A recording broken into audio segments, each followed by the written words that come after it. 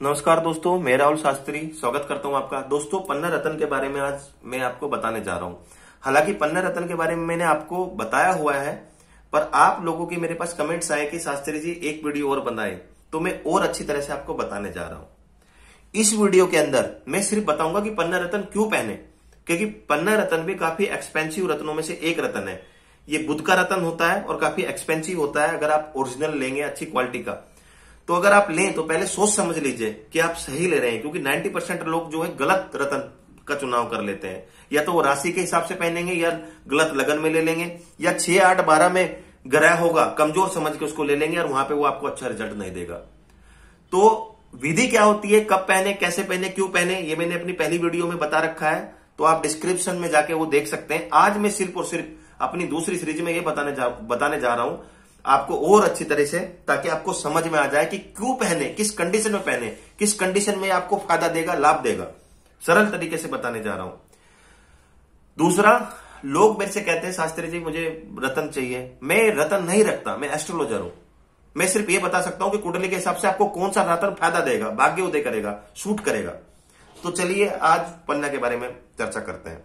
देखिए, पन्ना रतन, जो कि बुद्ध का रतन होता है तो पन्ना को समझने से पहले बुद्ध को समझिए। बुद्ध किसके कारक होते हैं? बुद्धि के यादाश्त यादाश्त के, वाणी के, विवेक के, शिक्षा के, गणित के, लेखन के, तर्क वितर्क के, ज्योतिष विज्ञान के, नाटक के, व्यापार के, और साथ ही साथ शिक्षा के। तो कोई जातक, अगर किसी में, मान लो जैसे यारदास के कारक होते हैं, किसी की भूलने की आदत है तो पन्ना रतन पहने। स्टूडेंट है शिक्षा कर शिक्षा की दृष्टि से पहन सकते हैं। बहुत फ़ायदा देगा। साथ ही साथ कंफ्यूज रहते हैं तो पन्ना को पहने। तर्क वितर्क करने की आदत है, गलत तर्क वितर्क करते हैं तो पन्ना रतन पहने, बहुत फ़ायदा देगा। जो जातक कॉमर्स के क्षेत्र में सीएस आईसीडब्ल्यू सीएस कर, या फिर सीए कर रहे हो तो पन्ना रतन पहने, बहुत फ़ायदा देगा।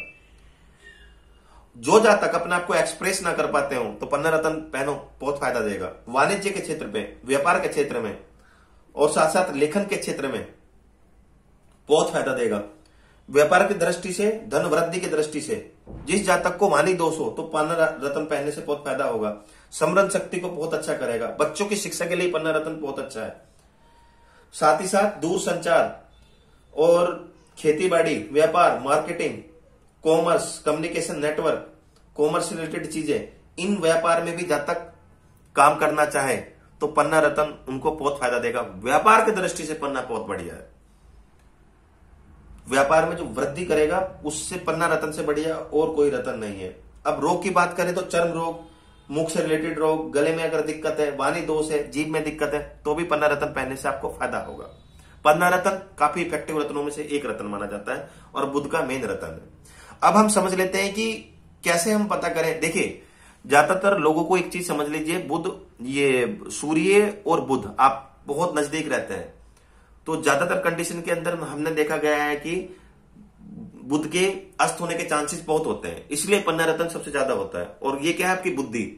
तो इस वजह से पन्ना बहुत ज़्यादा बिकता है। अब आप देख लीजिए, आपको वो शूट करेगा नहीं, आपकी कुंडली के हिसाब से। देखिए, सबसे पहले समझ लीजिए, आपने समझ लिया, बुद्ध किस चीज़ के कारक हैं और बुद्ध, पन्ना बुद्ध की विशेषताएँ बताते हैं। तो आप समझ लेंगे पन्ना रतन को पहनने से आपको क्या क्या क्वालिटी मिलेगी, वो मैंने आपको बता दिया। दूसरा, बुद्ध का प्लेसमेंट कैसा है? किस लगन में आपको पहन सकते हैं? पहनेंगे, नहीं पहनेंगे, वो समझिए सबसे पहले। देखिए, जैसे यहाँ पे तीन लिखा है, मिथुन लगन के अंदर आप पहन सकते हैं।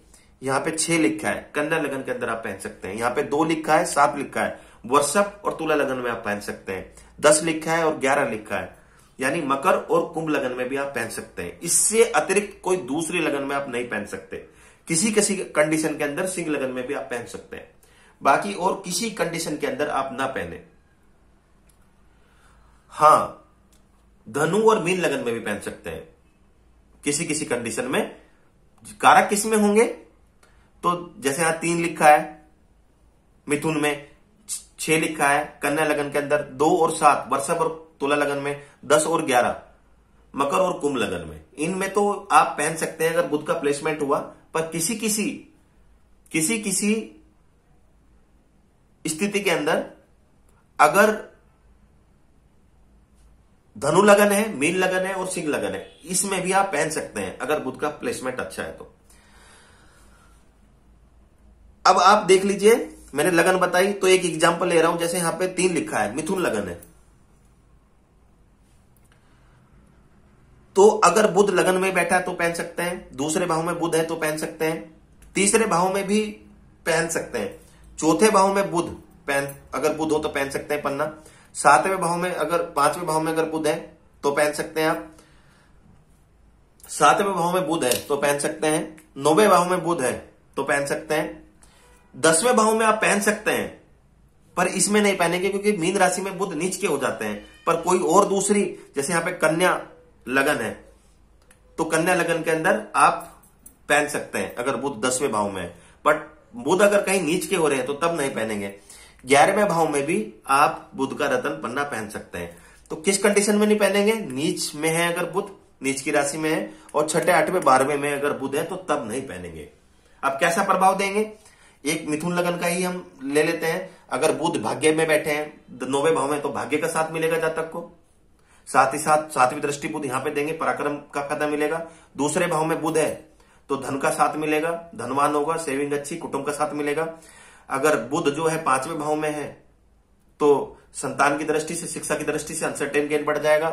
ग्यारहवें भाव में तो इच्छा पूर्ति होगी, लाभ में वृद्धि होगी, व्यापार की दृष्टि से अच्छा। सातवें भाव में होगा तो पत्नी की दृष्टि से अच्छा वैवाहिक जीवन का सुख, व्यापार में अच्छा। रोज़गार बढ़ जाएगा जब तक का। और लगन में बैठा है तो जब तक को फ़ायदा होगा कॉन्फिडेंस बढ़ जाएगा, व्यापार की दृष्टि से काफ़ी अच्छा होगा। तो आप समझ लीजिए कि जिस चीज़ के कारक होंगे बुद्ध तो आपको फ़ायदा मिलेगा और बुद्ध जहाँ बैठे होंगे तो उस भाव से रिलेटेड भी आपको फ़ायदा होगा। पन्ना रतन अपने आप में कुछ नहीं करता। पन्ना रतन बुद्ध की विशेषताएँ बताता है और बुद्ध को बल देगा। और किस कंडीशन में? अगर बुद्ध ज़ीरो से छह बाल अवस्था चौबीस से तीस मर्त अवस्था में हुआ तो तब आपको पन्ना ज़रूर धारण करना चाहिए। जो मैंने प्लेसमेंट बताया और जिस लग्नों में बुद्ध कारक होते हैं। तब आप पहनिए इनको। क्योंकि 12 से 16 के बीच में तो बुद्ध है। वो वैसे ही पूर्ण किशोर अवस्था में वो अपना 100 परसेंट देंगे। तो ऐसा कुछ नहीं कि पन्ना कुछ चमत्कार करेगा। चमत पन्ना सिर्फ़ बुद्ध को बल दे देगा। फिर वो अपना 100 परसेंट रिज़ल्ट देने के लिए कारक हो जाएँगे। तो दोस्तों, मेरी वीडियो अगर अच्छी लगी तो लाइक करना, चैनल को सब्सक्राइब करना मत भूलिएगा। साथ ही साथ चलित कुंडली में और देख लीजिएगा। अगर गलती से बुध लगन कुंडली में तो अच्छे लग रहे हैं, चलित कुंडली में प्लेसमेंट छह आठ बारह में हो गया तो भी आप पन्ना रतन मत धारण करिएगा। धन्यवाद मित्रों।